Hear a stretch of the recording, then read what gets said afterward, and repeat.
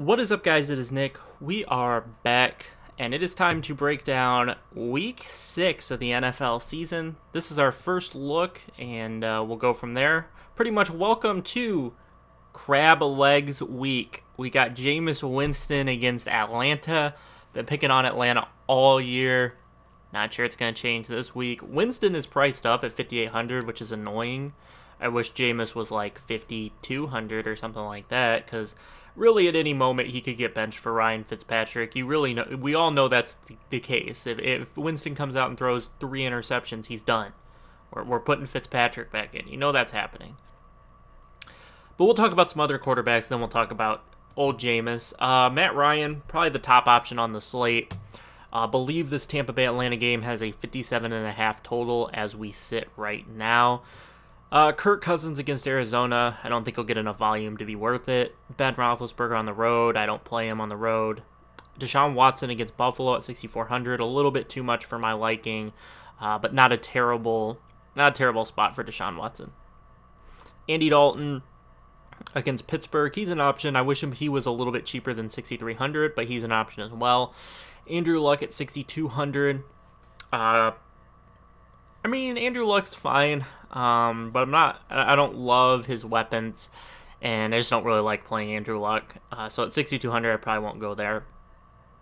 Cam Newton at 6,100. He has the rushing upside, but he's kind of been a little bit up and down. He, he's pretty closely a lock for 18 points uh, with high upside um, at 6,100, uh, but not sure I'll go there. Jared Goff is interesting against the Broncos. There is no Cooks or Kupp right now. They're both in the concussion protocol, so we'll have to see what happens to them uh, throughout the week. Um, Sean McVay is optimistic that they both should play uh, on Sunday, so we'll have to see about that. Rivers, they're running the ball too much. I love me some Philip Rivers, but they're running the ball too much. Jameis, uh, like I said, it's 57 and a half point total. Atlanta should be up. Tampa Bay's defense is terrible. Jameis should have to throw. What concerns me is the one start we have from Jameis is, I guess it was it a start? Fitzmagic actually started that game, right? Yeah, Fitzmagic started the game, was terrible, and they put Jameis in. Yeah, yeah, that's what that's what happened. So I mean, for the limited amount of time that Jameis had in garbage time, it wasn't bad. He went 16 for 20 for 145, a touchdown, and two picks. The two picks are slightly concerning. Um, he did rush once. Uh, I'd like to see him rush a little bit more than that, give you a little bit of a rushing upside. Uh, I hate playing Jameis Winston because I don't think he's actually a very good quarterback in real life, but this matchup is really good. Russ at 57, uh, he's just not doing enough uh, for in terms of fantasy this year. He's been a fine real life quarterback this year. He just isn't doing much fantasy wise. Bortles, no, that game's going to be slow. Baker, Baker Mayfield is the other option I like down here with Jameis. Um, gets a matchup with the Chargers. He should be down in this game. Should have to throw. Case Keenum also a decent option against the Rams. Should be down in that game. Should have to throw. Other than that, I'm not playing any. I'm not playing Joe Flacco. I, I I'd consider Derek Carr against Seattle. I mean, as much as people want to rag on Derek Carr this year, he hasn't been terrible, and at 5K, he really wouldn't be terrible, especially if he had to throw. So if this game kind of turns into a shootout against Seattle and Oakland, you could see Derek Carr throw. And truly and honestly, I mean, you wouldn't be happy with three of these weeks, but you wouldn't be mad about them. Like if I got 15 points from Derek Carr one week, I would not for 5-1, I would not be mad about that. Um, I'm not playing Rosen, Allen, or Prescott down here, so we can move on. We'll uh, we'll go ahead and throw in old famous Jameis and his crab legs into the quarterback spot. Um, Todd Gurley is 10k. He's super touchdown dependent. If you look at his scores this year, he is super touchdown dependent. I mean, he scores 15 points last week without a touchdown. If you have realistic expectations of one touchdown, he still only scores 21. Um, and while he's touchdown dependent, Todd Gurley's touchdown equity on this team is probably second highest to Melvin Gordon in the entire NFL. Um, I say second because I think the Chargers force it a little bit more to uh, Melvin Gordon in the red zone than they than the Rams do to Todd Gurley. Todd Gurley gets a lot of his touchdowns just in the flow of the red zone. Uh, so I don't really think they jam it to him to, to force touchdowns, but uh, he does have more touchdowns than Melvin Gordon. But I hope you guys get my point with that. That his touch, him and Melvin Gordon have the highest touchdown equity in the NFL. Um, but Todd Gurley is still touch or touchdown dependent. If he doesn't get the touchdowns, he's not going. If he has a week where he gets zero touchdowns, I mean, it's going to be a bad week for Todd Gurley. He's not getting a 100 yard bonus rushing. He, he got it two weeks, two out of three, and for 10K, I want it every week. He's not really exploiting the passing game. I mean, he's getting yardage, like 50 yards is good. Um, and the catches are good, but he's not, you know, getting 70 yards a game to compensate for not hitting the 100 yard bonus. So I'm just saying, temper your expectations with Todd Gurley. Um, if he doesn't get in the end zone, you're going to be in a world of hurt. Um, like I said, I think he gets into the end zone more often than not because he has one of the he has the highest tied with Melvin Gordon for the highest touchdown equity in the NFL. Um, and so we'll move on to a guy who has maybe the lowest touchdown equity in the NFL at running back for a stud, and that's Christian McCaffrey. I love McCaffrey, but his touchdown equity is just terrible. They love to have Cam run it in. They have CJ Anderson to run, power run. They have Funchess and Ian Thomas that they look for in the red zone. So I just I, don't like Christian McCaffrey's touchdown equity. Washington does give way to the running back, so uh, you can look that way, but uh, Christian, don't don't ever play Christian McCaffrey expecting a touchdown unless it's Atlanta. Then you can maybe expect a touchdown. Melvin Gordon is 8,200. Uh, like I said, second best touchdown equity in the NFL behind Todd Gurley or ahead of Todd Gurley, however you want to look at it. I think I view it a, I view his touchdown equity a little bit higher, even though he only has six touchdowns. Um, the week one against Kansas City was was weird. Austin Ekeler got the touchdowns. Uh, San Francisco was kind of weird as well. He and they're not scoring as much as the Rams, so his touchdown equity is going to be lower because he they score less than the Rams do, and he also is competing with Austin Ekeler for touches. I think technically Gordon's equity is higher, but because of the snaps Gurley plays per snap, I think Gordon's equity is higher, but per game, I think Gurley's is higher. I think that's probably the best way to state it. James Conner, I'm not going to play him against Cincinnati, um, just because I don't want one of these games. Um, he has two explosion games this year, one okay game, and two terrible games. So go with that as you will.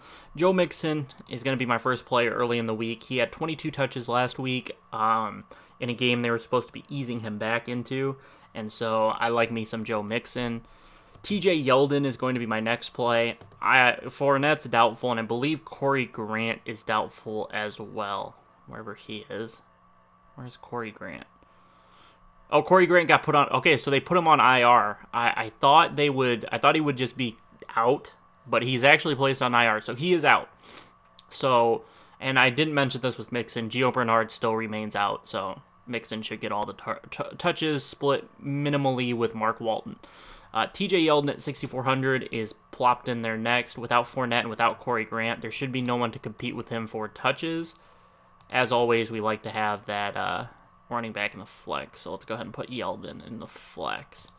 Um, but TJ Yeldon should see all the touches at running back um, without Corey Grant or um, Leonard Fournette. He has the receiving upside, he has the rushing upside. There should be no Sean Lee this week for Dallas, so he should be in a prime spot uh, to do work. Now, we got some other running backs to talk about. Zeke is underpriced at 7K. I don't think I'll play him against the tough matchup against Jacksonville. Jordan Howard, it looks like Jordan Howard might gain a lot of traction and possibly be chalked this week uh, against Miami. I don't love it. Probably would just play TJ Yeldon before him and Joe Mixon, and I'll talk about a couple other running backs. Um, Chris Thompson, interesting pass catching back if they get down, but they have to get down for him to be useful. Adrian Peterson did look like he fractured his labrum or tore his labrum in his shoulder. Um, so we'll have to keep an eye on that. If, if, if Adrian Peterson is definitely definitively out, then Chris Thompson becomes a little bit more viable. Freeman, it looks like it's a three-headed monster in Atlanta um, with Ito Smith, so probably not going to be playing any Atlanta running backs. Uh, Dalvin Cook is the other question mark. If he's out, we get Lat Murray against a terrible Arizona defense. So we'll talk about him. David Johnson, 5,900. I believe two years ago, most everybody in the DFS community faded David Johnson against Minnesota, and he went off. Um, I don't expect that to happen. This Arizona coaching staff doesn't know get him the ball. Carlos Hyde is interesting. Um, he's been seeing 20 touches per game. Uh, he had 19 last week, but roughly 20 touches per game. Um, and at 4,900, that's really nice for 4,900 running back to get that many touches. Uh, wherever, where the heck is Lamar Miller? Lamar Miller is still questionable. We'll have to see how this projects. He will return for the game. Um, he didn't play. I, I, didn't watch. I didn't participate in the Sunday night slate. Um, but it looks like it looks like Miller is gonna play. So we'll just assume Miller plays for now. If we get new news, we'll we'll take him out. But I was gonna talk about Alfred Blue, who's 4400. But if Lamar Miller is gonna play, can't really play Alfred Blue.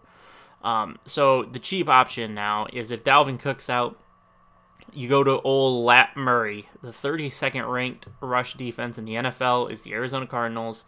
They're terrible on offense. The Vikings should get a huge lead. Should see more than 11 rushes. I know Boone and, um, you know, what the heck are all their stupid running backs? Um, Boone Ham and Roc Thomas, I think they all touched the ball. So Roc Thomas had four rushes. Boone had one rush. And Ham had Ham had zero rushes, but he caught a ball. So, I mean, it, it, it is a multi-headed monster there, but uh, Lat Murray should see most of the touches. And at 4,700, he probably has the highest touchdown equity um, on the team if they get inside the five. So Lat Murray at 4,700, really good play in my opinion. Moving on to wide receiver, we've got Antonio Brown at the top, 8,700 against Cincinnati. Always in play, always an option. I'm going to say that about pretty much everyone, including Mike Evans, AJ Green, Adam Thielen. I, I just don't want to pay them. I'm going to play, I'm going to ride the, the circus again, and I'm going to play Julio Jones at 7,900 unless some crazy value opens up at wide receiver and I can't fit Julio, I'm playing Julio at $7,900. And there's not much to talk about here at wide receiver. It's pretty easy this week. I'll go over it real quick, but it's Julio Jones, top option, 7,900 against a terrible Buccaneers defense who can't cover anybody. You want to pick on Tampa Bay a lot more with number two wide receivers, but Mohamed Sanu is not cheap anymore. He's like 50, or he's 4,800. He's not cheap anymore, so not really sure I want to play Mohamed Sanu. Um, if Will Fuller continues to be banged up, um, he he was banged up with that hamstring. He did play, but he didn't play well because the hamstring limits what he does. You can play Keke Coutee, who is 44, 4600. So Keke Coutee has had 7 and 15 targets. Um, and at 4,600, I'll take the seven, and you can get rid of the touchdown, and I would still take it at 4,600. Um, it would have been 11.3, still a good game for a guy at 4,600. But we're not going to assume Will Fuller's still going to be banged up. We'll recircle that later if he happens to be. The real thing is, is it looks like Brandin Cooks and Cooper Kupp are going to play. Um, if they don't play, it's all the Josh Reynolds and all the Robert Woods if both of them sit. If one of them sits, probably just Reynolds um, because Reynolds is 3,600. Uh, but but uh, McVay seems pretty confident that they're going to play, so we won't plug them in yet. Uh, moving on down here, I love me some Djax. I always love DeSean Jackson, but I don't think I don't think this um, this I don't think this is the game to play DeSean Jackson in cash. I think I'll throw some GPP darts. I'll probably have a full Tampa Bay Atlantic game stack for GPPs. Um, but uh, Djax, I do love Djax, just maybe not in cash. Moving on down, I love Doug Baldwin. I know he disappointed a lot of people last week, but he still saw a lion's share of. I believe he was on the field for 84% of the snaps, and so I still think uh, Doug Baldwin is a playable. Um, Russell Wilson's favorite target, and it's not even close. And so, I think I think he's still viable. I'm not going to let one week scare me off of him. Mohamed Sanu, like I said, at 4,800, definitely viable. He's still seeing a fair share of targets, seven, nine, seven. Um, and so I have no problem playing Mohamed Sanu in what should be a shootout. So we'll go ahead and plop Mohamed Sanu in there. I know I said I thought he was like 5,800, not 4,800. So Mohamed Sanu in there. We'll run it back. I mean, essentially my cash game lineup is going to be a lot of Atlanta, Tampa Bay. You'll see. Uh, Chris Godwin is interesting. Uh, he's down here at 4,400. So if you go to tight end, um, we have where where is he? OJ Howard. Um, I believe he he was out last week, uh, but the recovery time is two to four weeks, so it's expected that he should be out again this week, and so that means good old Cameron Brate here at 3,700 should be the only tight end available. Four targets, four targets, but 3,700. I'm willing to take the risk on a Cameron Brate at tight end. We'll go talk about more tight ends here. Hold on. So tight ends, more tight ends. Got David Njoku. Saw 11 targets last week. Seven. seven uh, I I'm, I don't know. This game's an outlier to me. It's seven, seven, seven, and 11. I mean, pretty consistent from him. Two different quarterbacks, consistent. Nick Vannett at 2,900. I love Nick Vannett. Uh, looked to Russ looked at him a lot last week. Didn't always throw him the ball, only four targets, but he did look his way, and Vannett looked pretty good. And so at only 2,900, I think he's a very viable option. CJ Uzomah, I think, is an option with Eifert on the IR. He's an option as well. Other than that, I don't really want to spend up for Ebron or anyone up top like there. And so then we move on to defense. We'll talk quickly about defense. I think I think it's the Titans again. They're 2500. They're a good defense in my opinion. I think I think it's the Titans. I mean, there's not much else down here in terms of in terms of the bottom of the barrel to play. 2500 is a fair price, and I don't see a lot else that I love. The Ravens defense at 2800 is is fair, but I don't love it. So we're gonna put in the Titans. It gives us 6700 for a wide receiver, and there's someone at 6600 6,600 that I think we just got to play. Jarvis Landry. Jarvis Landry, 10 targets, 10 targets, 14 targets, 7 targets, 15 targets.